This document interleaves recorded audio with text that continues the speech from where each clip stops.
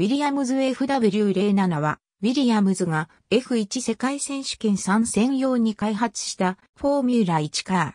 パトリック・ヘッドが設計し、1979年から1982年にかけて使用された。FW07FW07 は、ウィリアムズとしては初めて製作するグラウンドエフェクトカーだった。パトリック・ヘッドは技術的な冒険をせず、ウィングカーの成功作であるロータス79をつぶさに観察し、その設計を把握した上でデザインを行った。その作業をエンジニアのニール・オートレイやフランク・ダーニーが手伝った。FW07 の外見はロータス79に告示していたが、コンセプトを進化させる細かな配慮がなされていた。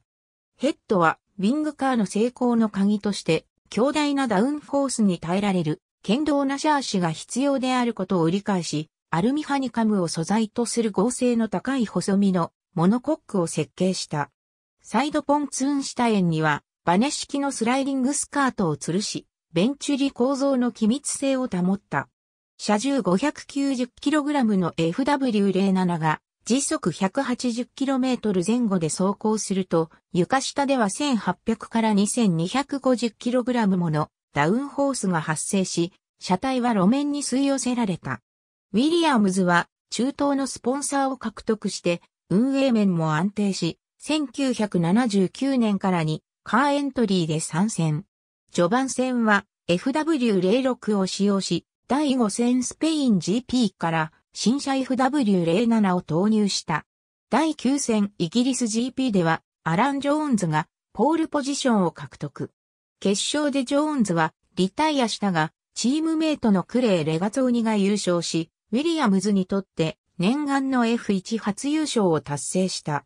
その後、ジョーンズの3連勝など、シーズン後半戦は最速のマシンとなり、通算5勝に PP3 ファステストラップを記録した。コンストラクターズランキングはフェラーリに次ぐ2位に浮上し、ウィリアムズは弱小チームからトップコンテンダーに昇格した。1980年にはプライベーターのラムレーシングに売却された。4名のドライバーがエントリーしたが、予選通過を果たしたのは、ルパート・キーガンのみだった。FW07B1980 年シーズンには、モノコックを補強し、サイドウィングをリアサスペンション工法まで延長した改良型の FW07B が登場した。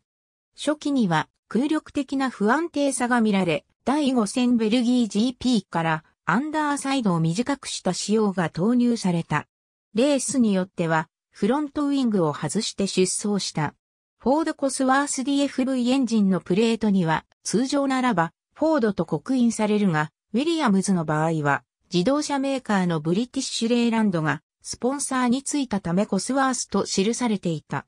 ジョーンズは5勝 3PP5 フロリダを獲得し、ブラバムのネルソン・ピケをしのいで、自身初のドライバーズチャンピオンに輝いた。新加入のカルロス・ロイテマンも一勝し、翌年にかけて15戦連続入賞という当時の新記録を作った。ウィリアムズはリジェに2倍近いポイント差をつけて、チーム創設以来初のコンストラクターズタイトルを獲得した。FW07CFW07C は1981年に導入されたスライディングスカート禁止最低地上高 60mm という規定に適合するようモディファイされた。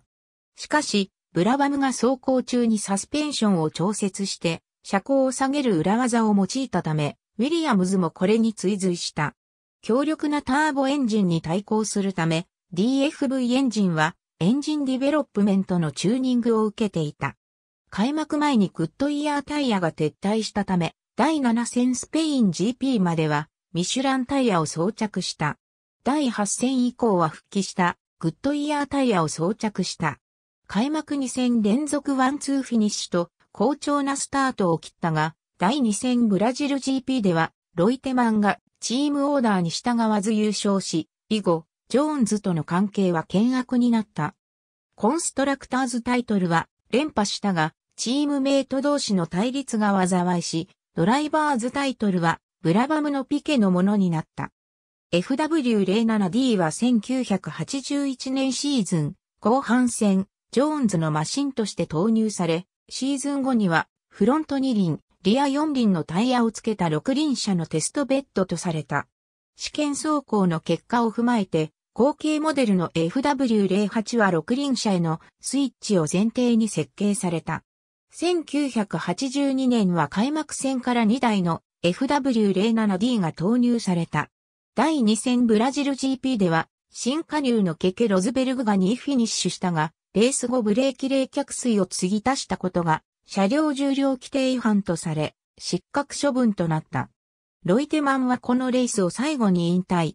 FW07 シリーズのラストレースとなった第3戦、アメリカ西 GP は、マリオ・アンドレッティが、スポット参戦した。ワークスチームのウィリアムズのみ結果を記す。1980年から1982年にかけて、会一の運営をめぐるフィザとフォーチの政治的対立が加熱した。その煽りで、フォーチ系チームのみが参加した1980年第7戦、スペイン GP と1981年開幕戦、南アフリカ GP が選手権から除外された。この2レースはいずれもウィリアムズが優勝していた。ダグナイ、歴史に残るレーシングカー、交際製薬、グランプリ出版、1991年、266ページ。ISBN 48億7687万1124。ダグナイ、1950から1999、グランプリカーオブザイヤー、海一クラブ第29巻、双葉社、2000年、55ページ、2011年11月11日、閲覧。歴史に残るレーシングカー、268ページ。ありがとうございます。